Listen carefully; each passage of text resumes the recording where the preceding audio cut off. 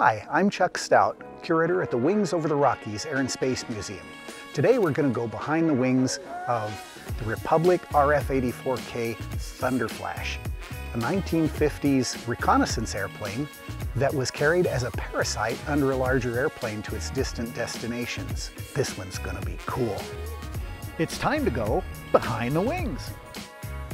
Here at the Wings Over the Rockies Air and Space Museum, we have over 70 iconic aircraft and spacecraft in our collection housed in this beautiful World War II era hangar. And one of them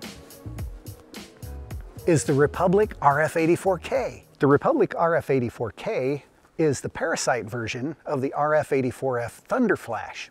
This is one of only three left in the world of the 25 that were built.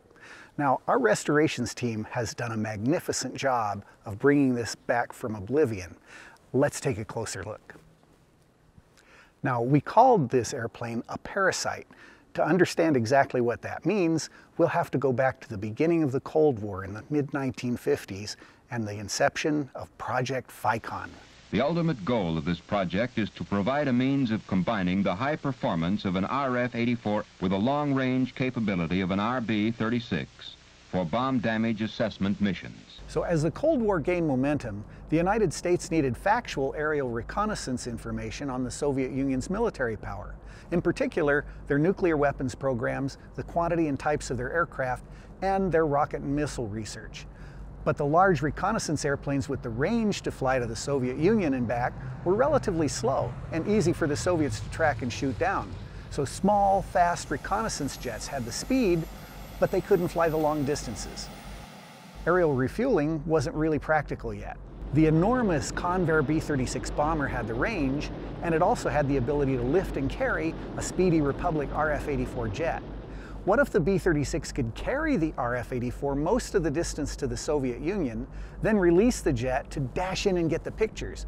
Then the RF-84 could fly back to the waiting B-36, hook onto a trapeze frame hanging below the belly of the bomber, and be raised back up for the long ride home to the United States. These trips are about 10 hours each way. The jet wouldn't fit inside the B-36, but if the horizontal tail was modified to angle downward, enough of the F-84 would fit up inside the B-36 to reduce drag and allow the F-84 pilot to ride home in the B-36, which was a little bit more comfortable. The RF-84K was a reconnaissance airplane and therefore it carried cameras. Now this was before the digital age, so these were film cameras. They would have to carry the film in these big camera cartridges on the back. The cartridges would be taken off when the airplane landed, taken to a film processing place, and then interpreted by photo interpreters. The cameras themselves are very large, as you can see. Long focal length, big lenses, because they were taking pictures over dozens, sometimes hundreds of miles. The airplane didn't carry cameras behind every window, but it has 10 different windows that cameras can use. And it usually carried several on each mission, different cameras for different missions. Now, the reconnaissance F-84s, the RF-84s, were developed from the fighter version, the F-84, and they retained some armament. They had four 50 caliber machine guns buried in the wing root here. The machine guns came back about here and carried their ammunition in cans inboard from that. The F-84 could also carry a Mark 7 nuclear bomb. As the experimental program progressed, the Air Force activated the 91st Strategic Reconnaissance Squadron in 1955. Unfortunately, the process of disconnecting and hooking back onto the trapeze under the B-36 was very difficult due to the turbulence under the bomber and the sensitive handling of the RF-84K. Although experienced test pilots could manage to do it in daylight and in nice weather, the reality of operating at night in difficult weather, near enemy territory, maybe with people shooting at you, was probably not practical for regular Air Force pilots. So the FICON project was developed because they didn't yet have reliable air-to-air -air refueling. But after the FICON project ended, this airplane was retrofitted with a air-to-air -air refueling receptacle. So it rejoined the ranks as an airplane that was capable of being refueled in midair. But that's probably enough about Project FICON for now. Let's talk about this particular airplane and how our restorations team brought it back from a terrible state. They put in hundreds of hours. They're incredibly talented. Well, let's go talk to one.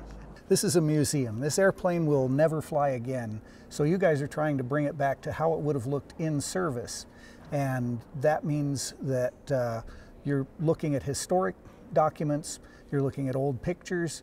A lot of research went into the paint that we have applied to this airplane. As you can see the red paint, the black paint that was used when this project was live. A lot of the problem was um, black and white photographs. So trying to determine whether it was red or blue a lot of times was kind of tough to do.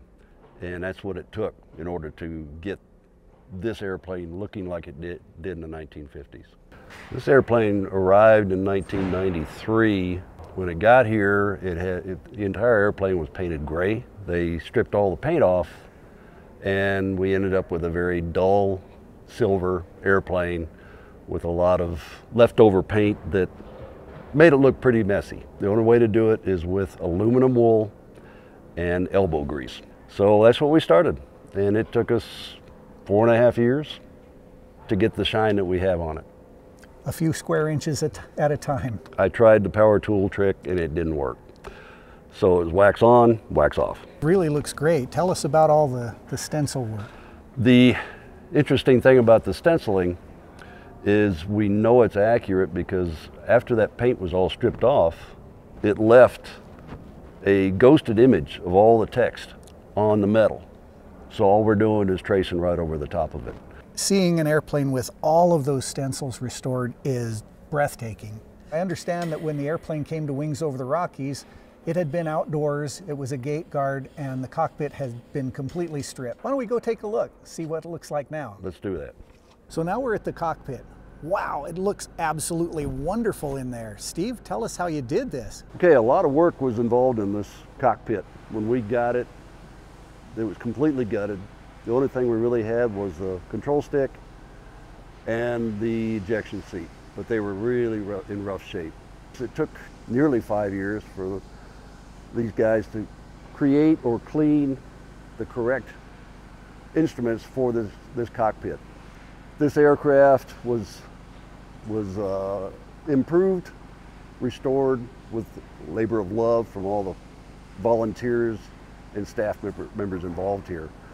The cockpit especially, just because of all the detail work that was done, the scope here, he added the map on there to give it a little realism.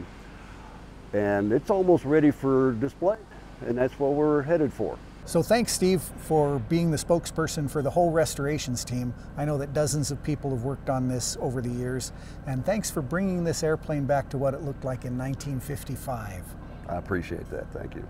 So Project FICON wound down in 1956, and all of the RF-84Ks were either scrapped or turned back into RF-84Fs, except for this one and two others. The role that was fulfilled by the RF-84Ks was later taken over by the Lockheed U-2 spy plane, a very famous aircraft, long skinny wings like a sailplane, jet engine, flew high enough to evade Soviet air defenses until 1960 when they shot one down, creating a huge international incident. But that's a story for another time. Now this is a fascinating airplane and we didn't have time to cover everything. So if you have questions or comments, please uh, leave them under the video and we'll get to them as much as we can.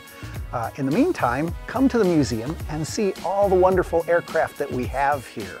And if you've seen something in the background that you're curious about, let us know. Maybe we'll do a behind the wings on it.